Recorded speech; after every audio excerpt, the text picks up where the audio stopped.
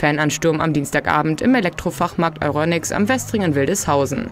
Der Grund, die Werder Bremen-Kicker Milo Raschika und Luca Plogmann haben in den neuen Räumen des Geschäfts eine Autogrammstunde gegeben.